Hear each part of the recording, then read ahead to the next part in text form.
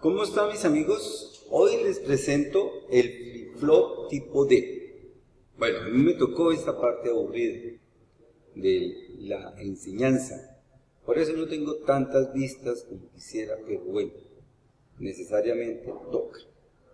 No se les olvide suscribirse, darle like, activar la campanita, comentar, compartir y si pueden dar las gracias con una moneda.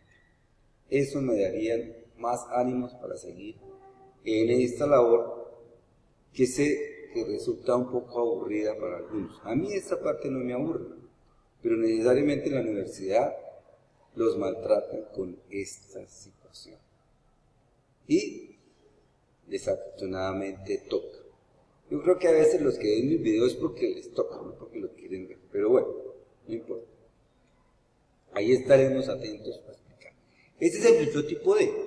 Siempre está basado sobre un flip maestro esclavo, que expliqué en el video anterior.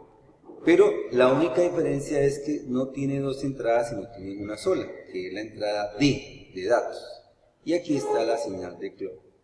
Si dato vale 0, yo doy el pulso de clock, cambia la salida. Fíjense que el pulso de clock no es solo el estado, sino el pulso. O sea, lo que es el flanco. Se presente el flanco. En este caso, flip-flop flanco descendente. Entonces, observamos, hay un 0 a la salida, a la entrada, hay un 0 a la salida. Si cambio la entrada por un 1 y doy el flanco, pongo un 1 y luego pongo un 0, el flip-flop cambia. Ese flip-flop tipo D, muy usado para la construcción de registros. Hay muchos circuitos interesantes hechos con registros que son puros flip tipo D conectados en cascada y eh, obviamente son muy utilizados en toda la electrónica digital dentro de los computadores, dentro de los celulares, dentro de las calculadoras.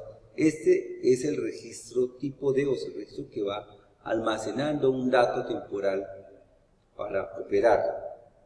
Bueno, dentro de los procesadores hay múltiples registros que pueden ser cargados en forma paralela, en forma serial. eso es otro tema. Pero esta es la base. La base es el tipo D.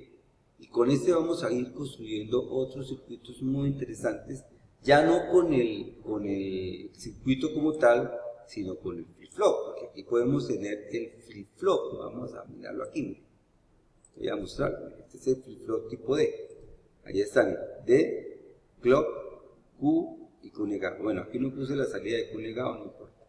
Esto que hay dentro de este flip-flop es este circuito. Aquí lo tenemos con flanco ascendente.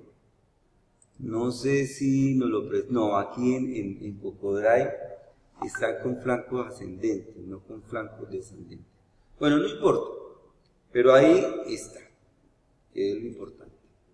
Entonces, les dejo el tipo D, no se les olvide suscribirse, darle like, activar la campanita, comentar, compartir, y si pueden dar las gracias con una monedita, estaría muy bien. Muchísimas gracias y hasta luego.